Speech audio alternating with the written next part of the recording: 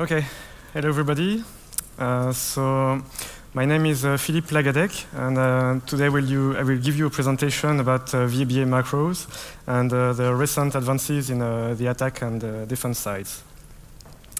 So, quick disclaimer. Okay, so a few words about myself. So I work for the European Space Agency. however, the talk I'm going to give today is not related to my day job. Um, for almost 20 years, I have been developing open source tools for uh, file parsing and uh, malware analysis. Uh, maybe you know some of them like OLE file or OLE tools. Um, and in fact, um, when I started working, uh, my first project was to um, build uh, an email security gateway. And uh, that's when I started 20, 19 years ago to um, fight with VBA macros. Uh, and uh, since then, uh, it has been a passion for me to look at file formats, how you can embed active content in them, and how you can um, detect malicious documents. So, um, yes.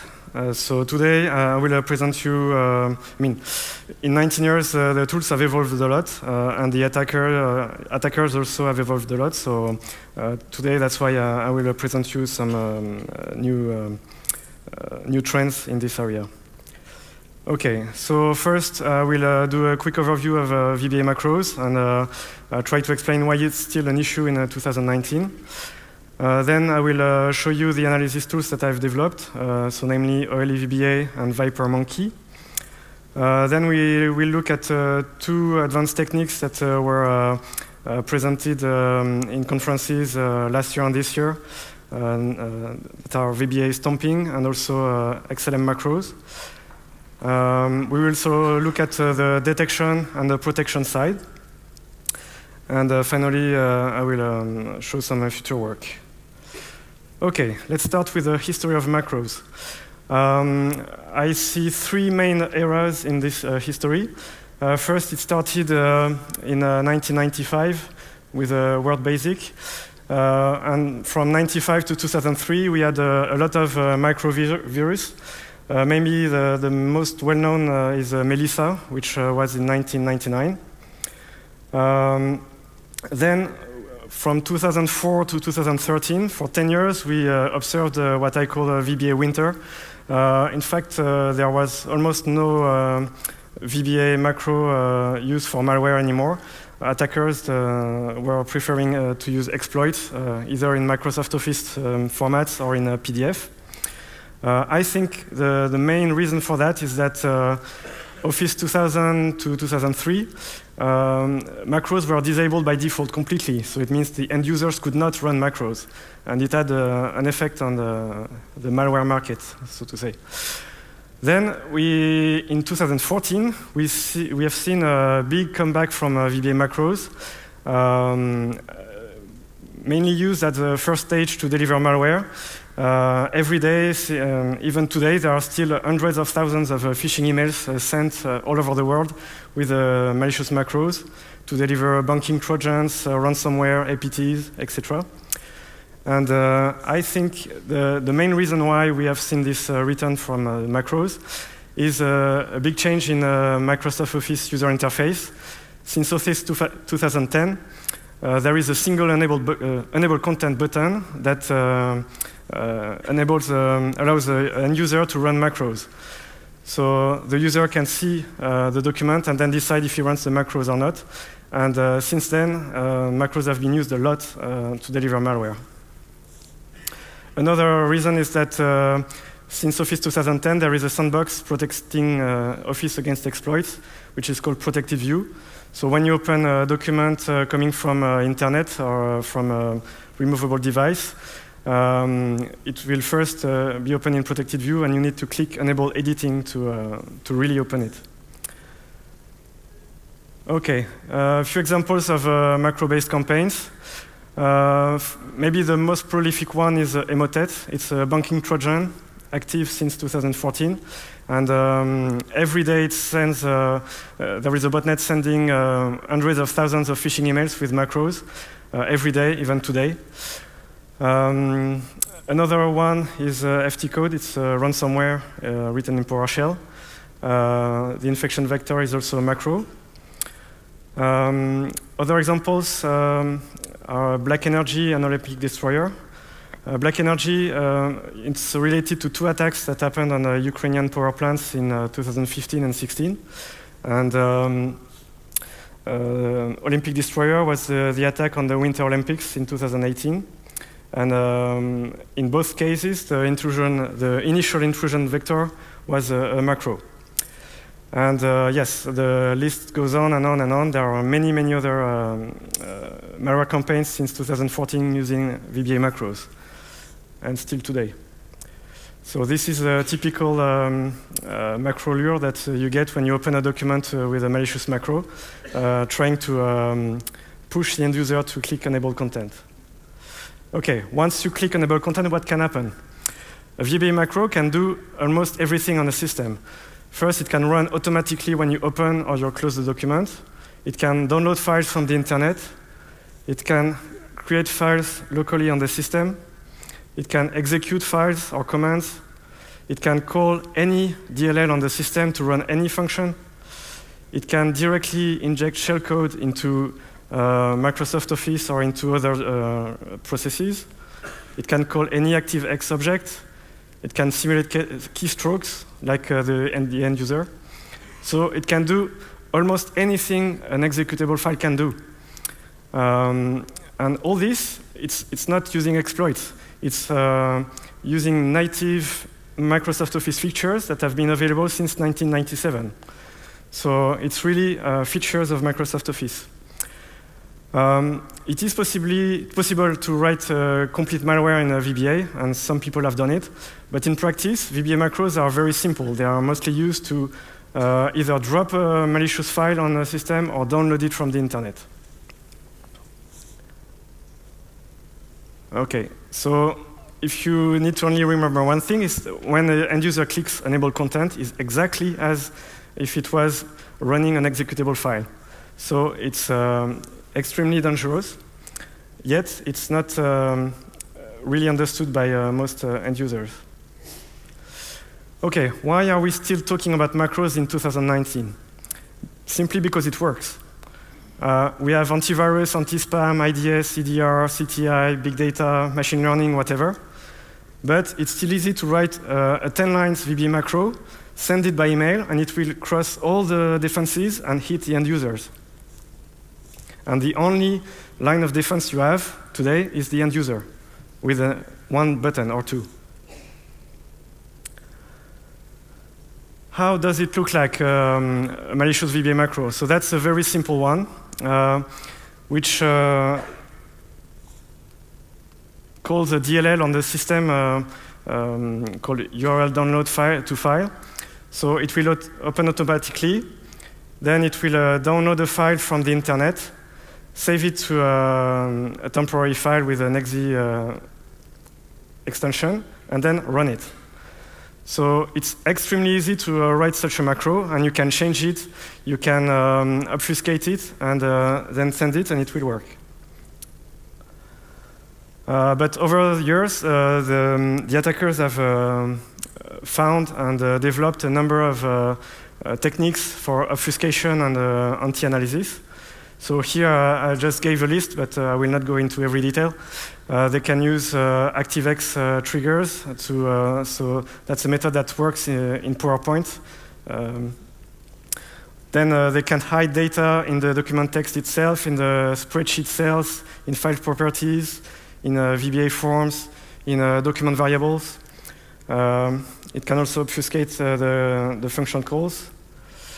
Um, we've seen also attackers using some uh, less known uh, formats like Publisher, um, MIME-HTML, XML files, etc., that can also contain macros and that are less known by people and by uh, antivirus engines.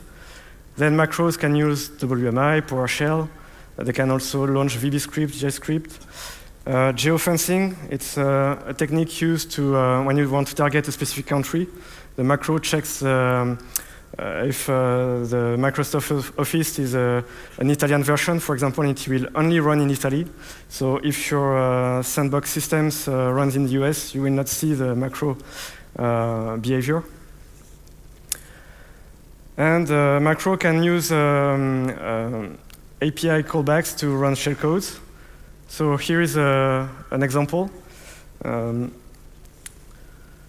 so here we see that it calls uh, some uh, DLL, uh, DLLs from the system. Uh, it will take the, the shellcode, copy it into a buffer, uh, allocate memory in, into a Word, for example, and then run it. So a quick demonstration to see how simple it is. Okay, I need to move this.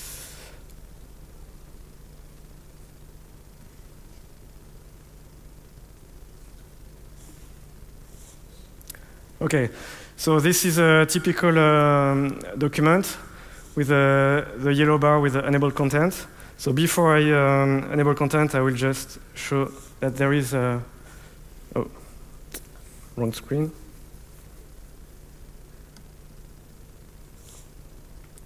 So here you see the, the macro that I showed you before.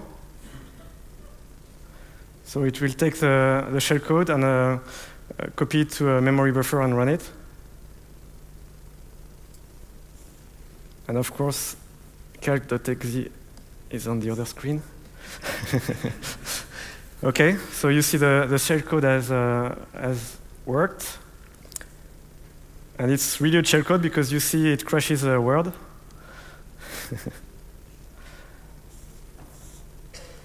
okay, so this is a very simple macro, and of course, uh, if you're an attacker, you can just copy and paste, change uh, all the details, and uh, it will be a completely new macro that uh, will uh, go past uh, any antivirus engine. Okay.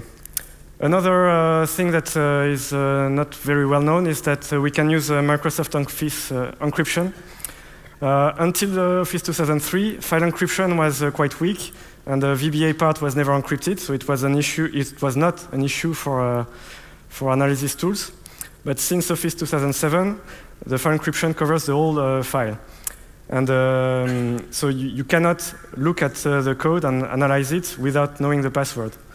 So usually the, the attackers they would pull the, they would put um, uh, the password, uh, such as uh, 1234, in the email, and then the, the, end user just has to type this password and then run the macro. There is a, a special password that works with Excel. It's a VelvetSweatshop. If you encrypt an Excel file with that password, um, it will be completely encrypted, so hidden from uh, analysis tools. And um, when the user opens it, it will be uh, transparently decrypted. So no need to type any password. So it's a trick that has been used uh, by uh, several malware samples to hide uh, their code. Um, recently, uh, a few tools have been uh, um, released uh, for decryption. And I have also integrated this with other tools.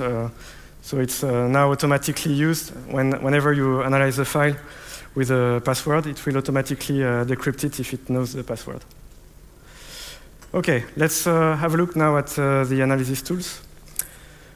Um, the first tool we have to analyze macros is Microsoft Office itself. Uh, it's very convenient because uh, you can um, see the code in the VBA editor. You can even use its uh, debugger to run uh, through the macro step by step. the only thing is you, you want to avoid to infect yourself, so you need to go through the code and uh, identify malicious actions and replace them by something like a, message box.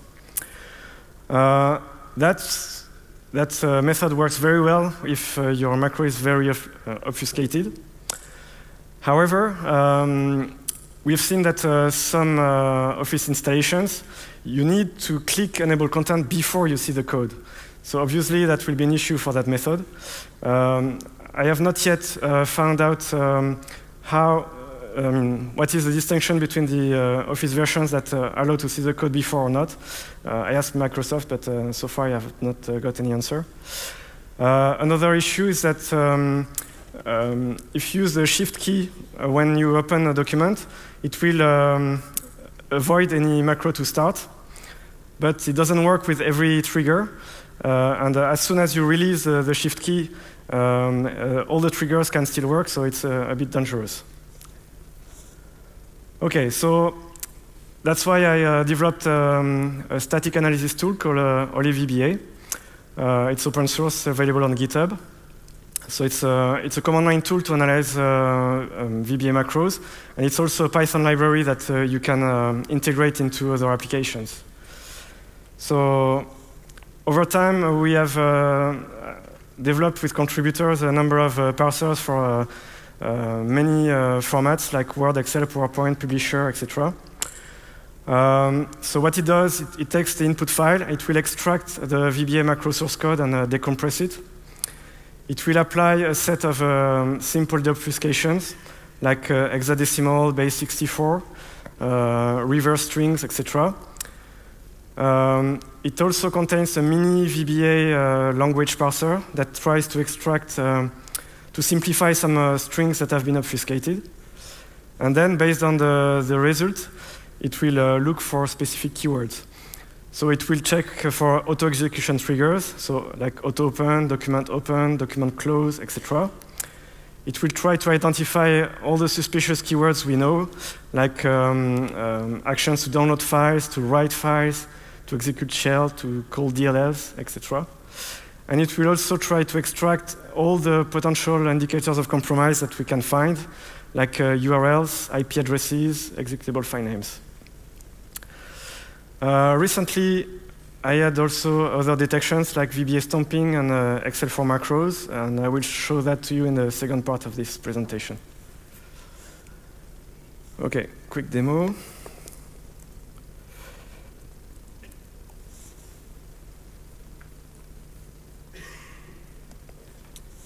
To move the screen. Okay. Uh, have here. So I showed you um, the document uh, launching a, a shellcode before, so we are going to analyze it. Well, it's not easy.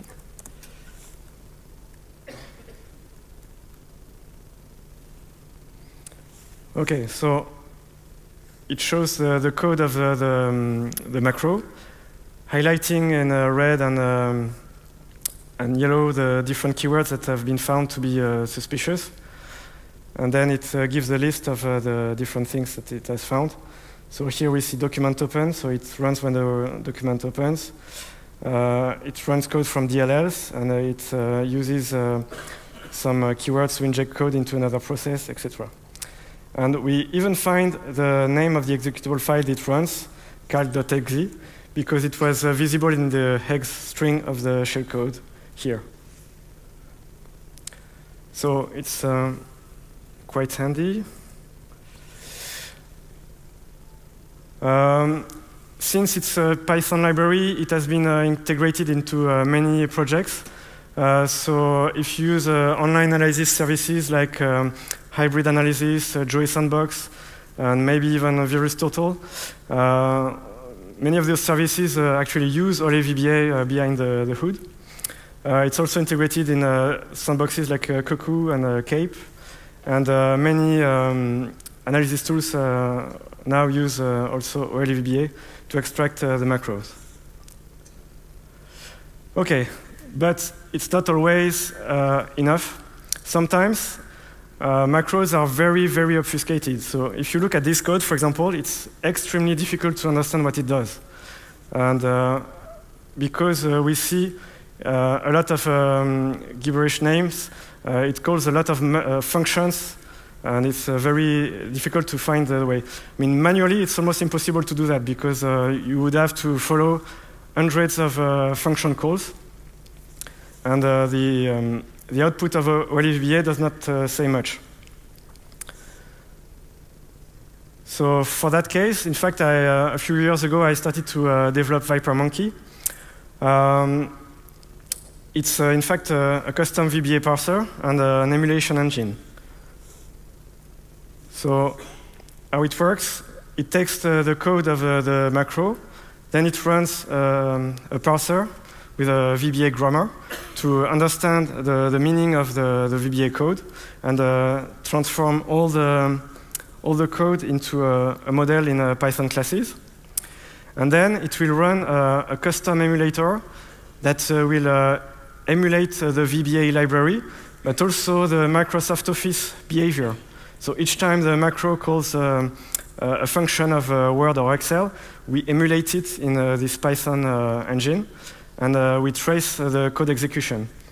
And from there, we try to extract all the interesting actions when the code tries to download uh, files from uh, the internet, to write files, to execute a shell or call DLLs, we um, uh, extract it. And we also extract the potential IOCs like URLs, IP addresses, etc. So let's take the, the sample that I, I showed you before. Okay.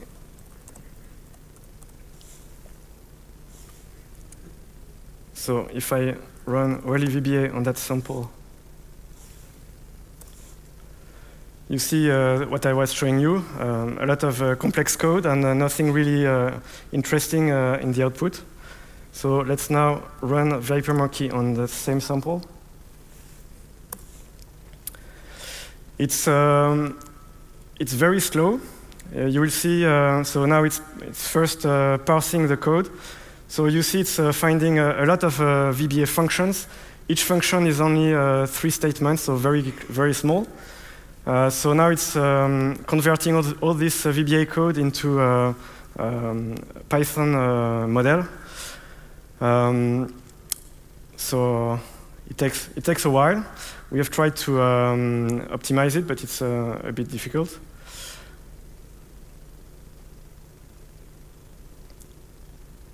So by the way, so I, I developed uh, this um, this project uh, a few years ago, and uh, in the last two years, it's uh, mostly uh, Kirk uh, from Walmart who is helping a lot, contributing a, a, lot of improvements, and it's thanks to him that now it's getting um, to a state that it's really useful.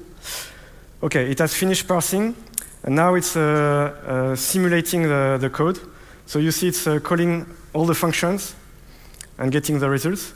And in the end, uh, that's uh, what we have found in the code. We see that, in fact, it's executing uh, a command using uh, the Microsoft script control. Um, so, in fact, it's uh, an ActiveX object that can run JScript, so JavaScript. And here we see the, the code of the JavaScript that is going to be execute, executed, oh, sorry, executed. And here, for example, we see that there is a URL uh, so obviously, this, um, this macro that was really obfuscated is uh, running JavaScript as a second stage to download uh, an executable file and run it on the system. So thanks to this uh, emulation engine, now we know what the code is actually doing. And we can uh, then uh, continue the analysis on this executable file.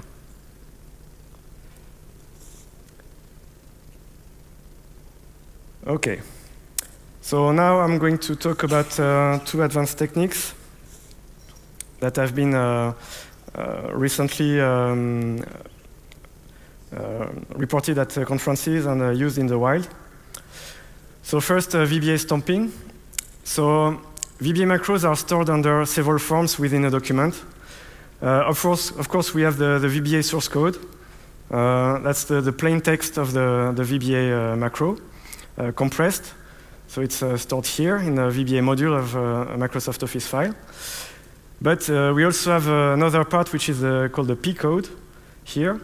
It's a pre-parsed VBA code that is, it's actually bytecode ready to be executed by a Microsoft Office.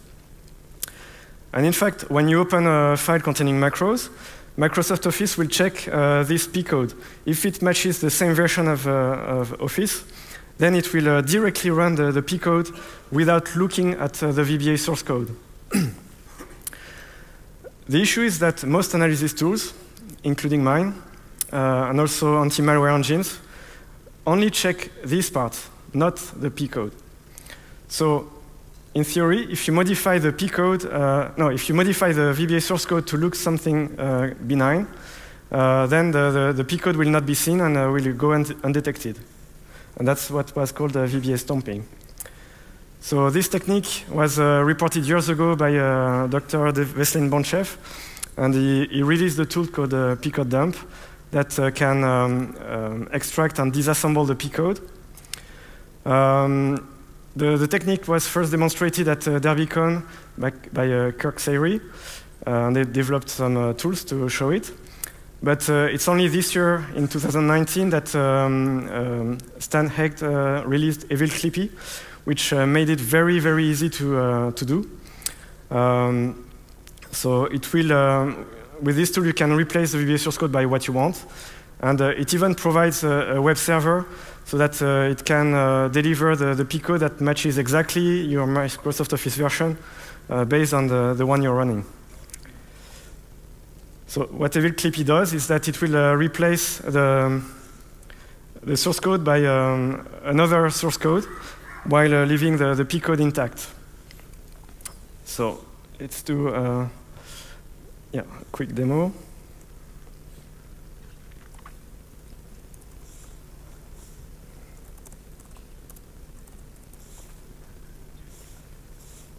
Okay. So here I have um, a macro called the VBA shellcode calc. So it's the same as the one we've seen before. So if I run OLEVBA on it, uh, you will uh, see the, the code of the, the macro that uh, runs the shellcode. Okay. So now I'm going to uh, do VBA stomping on it with Evil Clippy. So for that, I will uh, replace the VBA source code by a, a code of, uh, that, is, uh, that looks innocuous. So um, I will show you the file, no code.vba that I will use. So it's just a macro with a one command, so it does nothing. And I will use Evil Clippy to replace the code by this one.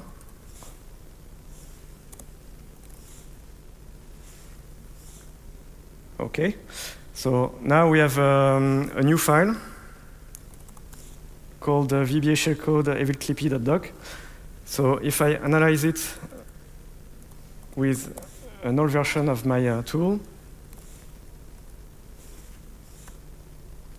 you see that uh, it, see, it doesn't see the macro anymore. Okay? But what happens if I run it?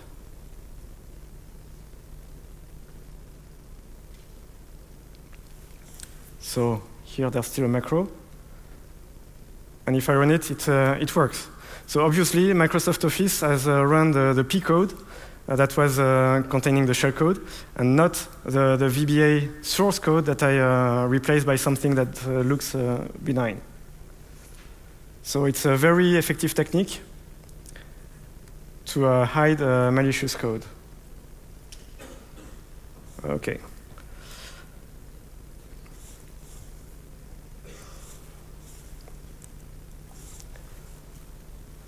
So what I have uh, developed uh, recently, and in fact, um, so I developed uh, the uh, technique this year, and I released uh, the new version uh, last night. So it's brand new. Um, so this, um, so OLE VBA now will actually use P-code dump to disassemble the Pcode. It will extract all the relevant keywords, like function names, variable names, etc and it will compare uh, those names with uh, the VBA source code. And if it doesn't find the same keywords, then it's a good sign that uh, the, the file may have been uh, stomped. Um, yes. And here, uh, it's not so easy because um, the, the, tricky part is to extract the right keywords because the P code and VBA source code, source code are, are quite different. So I'll show you. Now, if I run the latest OLE VBA on the file, so you see here, maybe there is a, a new alert saying VBA stomping uh, was detected. And here, instead of the, the VBA source code that we had before, we see the, the P code that has been de uh, decompiled, disassembled.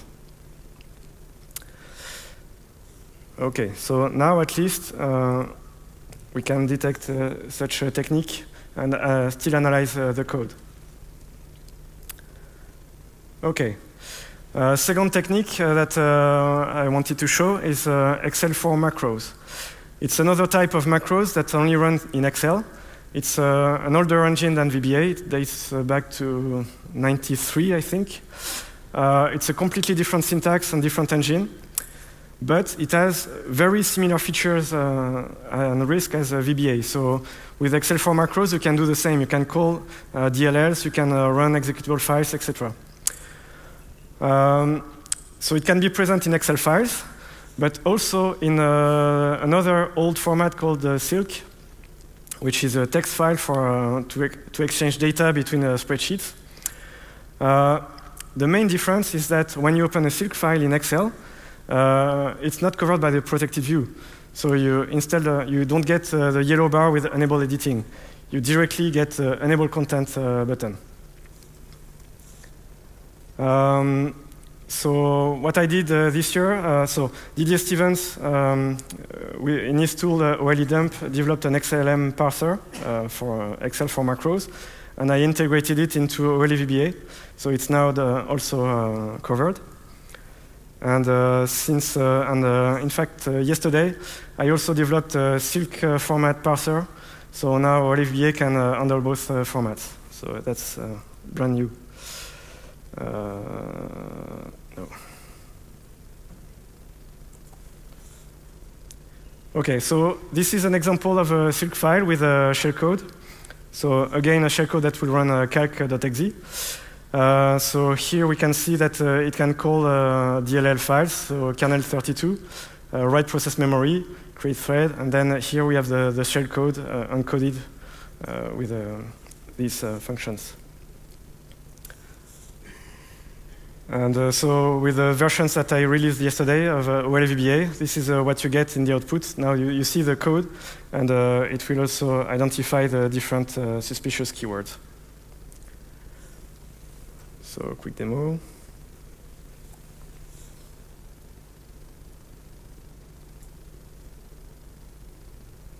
So here is the, the SYLK file. If I open it in Excel, Excel shows up on the wrong screen.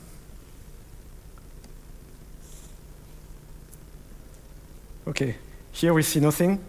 Uh, we don't see the code. If I click Enable Content, Yes, calc. So you see the shellcode has uh, run, and Excel has uh, crashed also. okay, so now, how does it look with OLEVBA?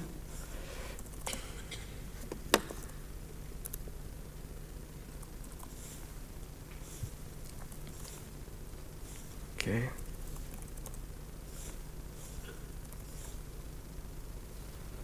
So OLEVBA will parse the SYLK file, find if there are uh, actual macros, and uh, find out uh, the different suspicious keywords that need to be analyzed. So now you are covered for SYLK files also. Okay, how long do I have? 10 minutes? Yes. Okay, so uh, a few words about detection and prevention.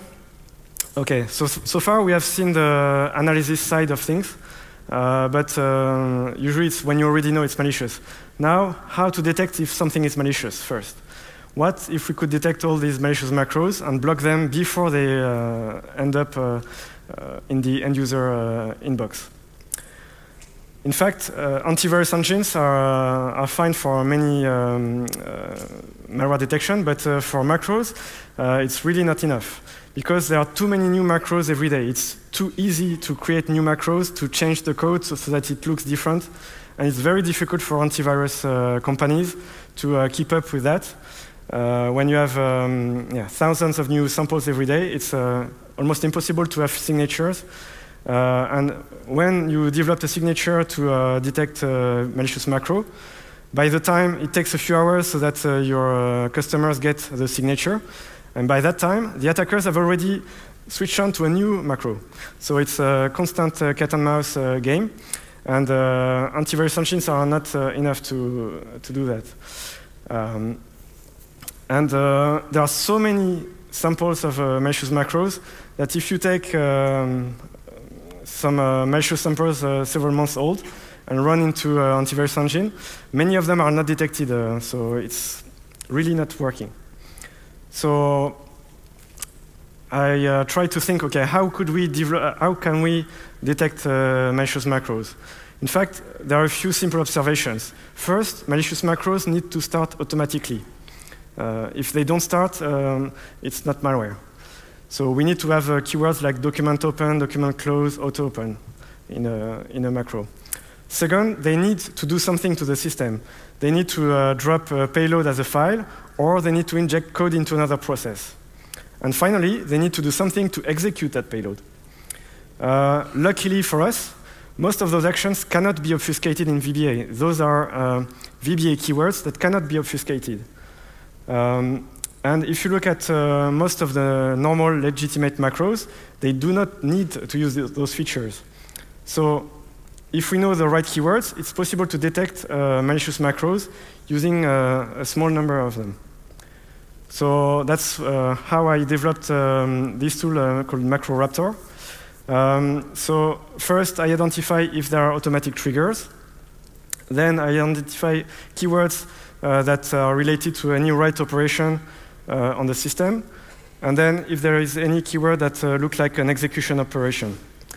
And um, the algorithm is that uh, if there is automatic trigger and either write or execute, then it's uh, classified as suspicious. Uh, in practice, I tested MacroRaptor on uh, all the samples I have, and um, I mean, all of them so far have been detected, and it worked even from the 99 macrovirus like Melissa uh, to the latest Emotet uh, that I uh, downloaded this morning. Um, the thing is, that algorithm is very simple. It's really focused on detection. Uh, there will be false positives because you can have legitimate macros that uh, run automatically and that uh, try to write something to disk or to use a create object function call, for example. But at least it will detect uh, most uh, malicious macros and block a few legitimate ones. So, quick demo.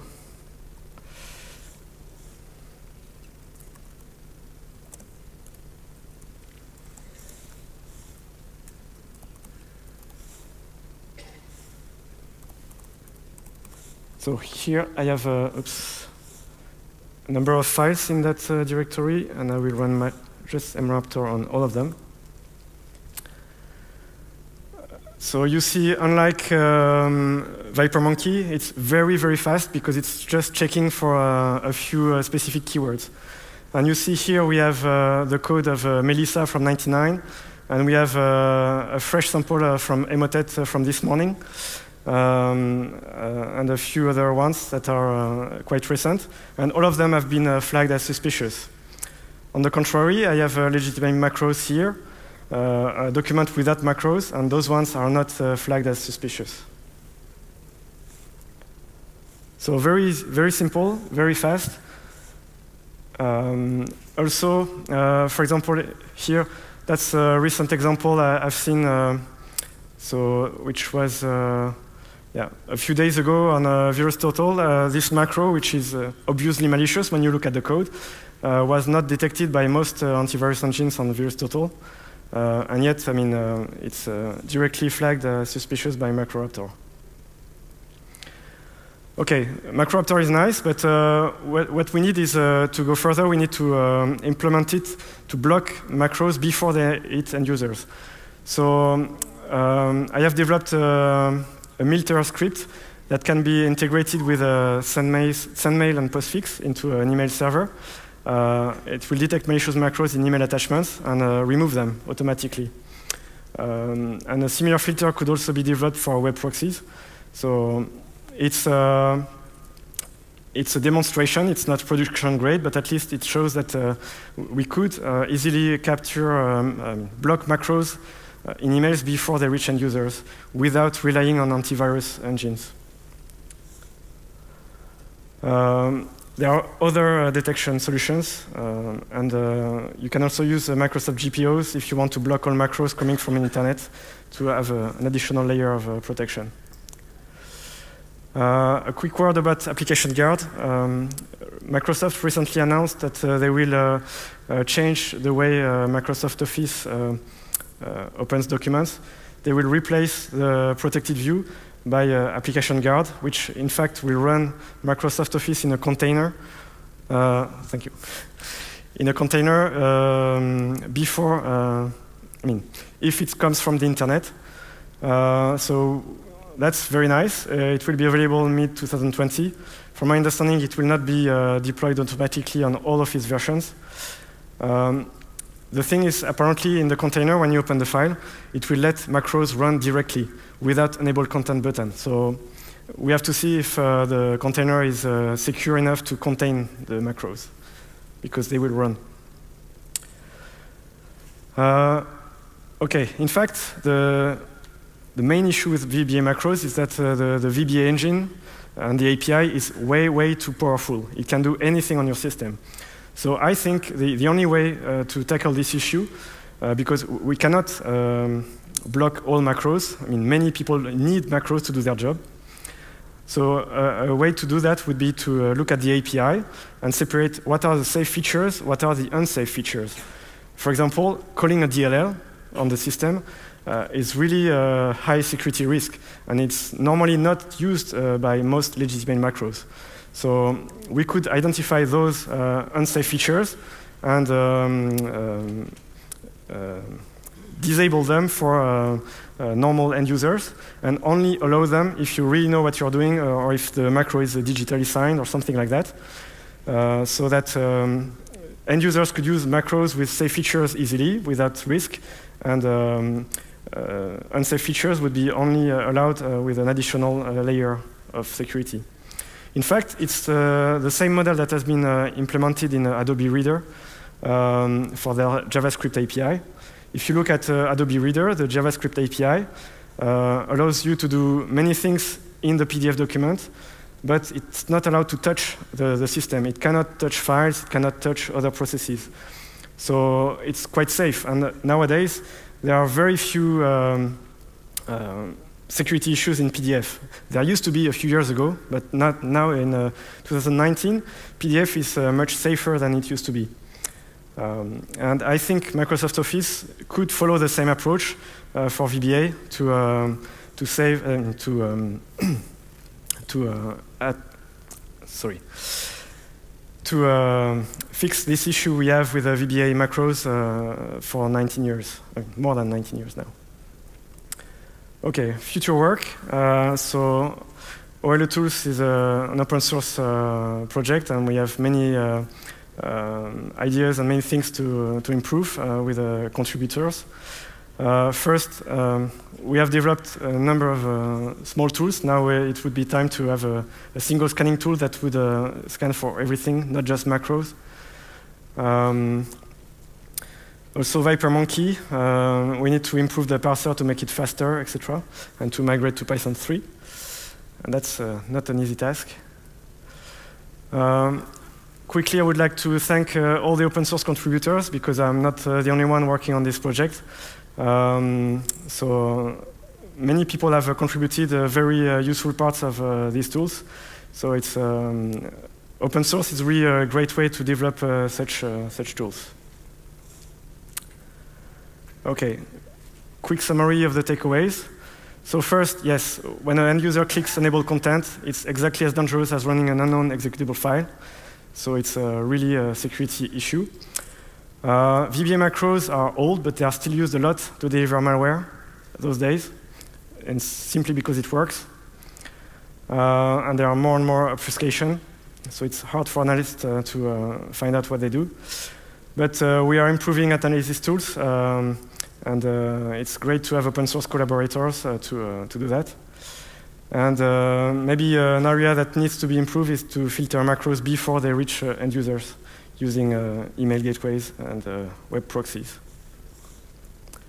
Okay, that's it for my presentation. Thank you.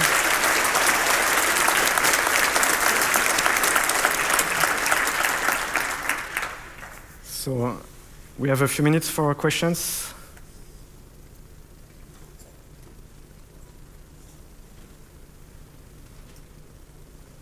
No questions? Yes?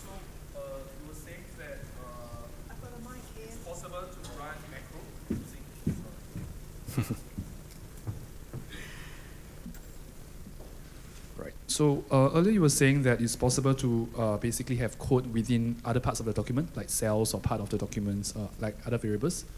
So what if the P code make reference to these cells, uh, and then uh, basically would would the would sorry would uh, would you be able to detect uh, say VBA stomping because essentially the P code it's basically making calls to these these uh, cells.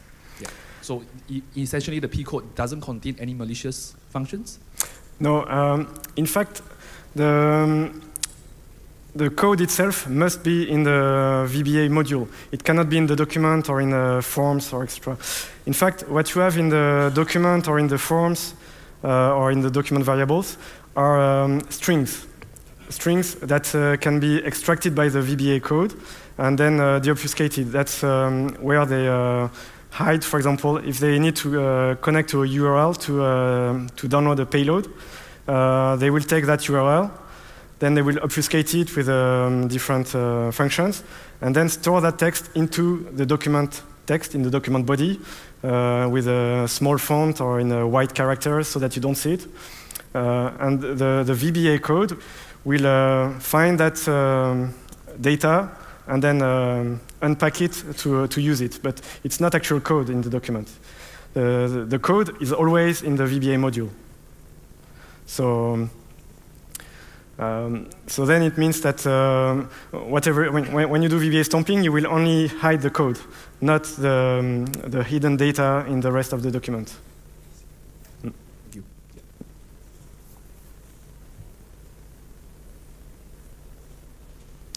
Yes, here.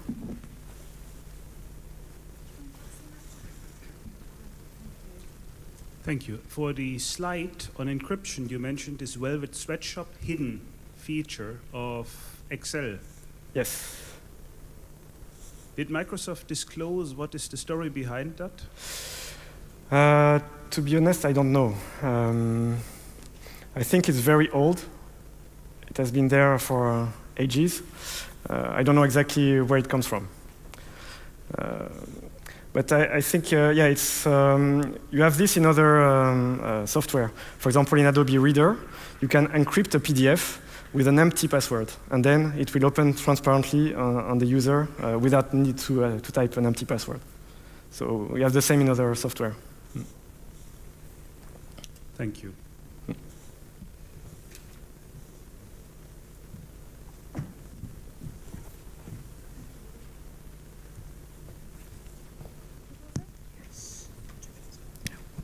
Thank you for the lovely presentation. I have a question. Uh, if there is maliciously written VBA in one of the documents, can another document having a different uh, VBA uh, or a macro fire the previous one? Can two documents be linked? Um, you mean the like, VBA code? Uh, that's a good question. Um, well, if both macros are running, you mean? Two documents with uh, two macros running at the same time. Yes. Yeah. Okay. Well, yes, of course, because uh, these two macros are uh, actually processes on the system, so they can use anything on the system to communicate uh, together. They can use uh, files, they can use uh, DLLs to communicate uh, through the memory or the network. So the question is that the malicious code can actually reside in one, but not be triggered by the same same document, right? Um, Oh, so you mean one document triggers another one? Uh, well, in fact, in any document anyway, if you want to run code, you, you need to click enable content. So the user would have to open both documents and click enable content on both. Otherwise, uh, the, the code will not run on the second one. So it's, uh, it's not automatic, I mean. No, uh, I, why I ask this question is like your tool can extract the VBA. Yes. And uh, so that, that kind of thing can be done by the other document, right? If it is enabled, uh, then in that case, it will not be showing as a malicious VBA. Well, so the, the thing is that when you run uh, the, the, VBA code, cannot um, modify itself or modify another VBA uh, document. Uh, there is a, a security uh, parameter in Office that uh, prevents that. In fact, uh, that, that was a big issue uh, back in the 90s uh, with the macrovirus. They were automatically changing themselves and they were infecting other documents. And that is not possible anymore nowadays. Microsoft Office blocks VBA code can do anything on the system except modify itself. So it cannot um, modify the VBA code in another document um, directly. It's not uh, possible. Yes, maybe last question? Out of time. Okay, so we, we can discuss uh, after the it's finished. Yes. Thank you.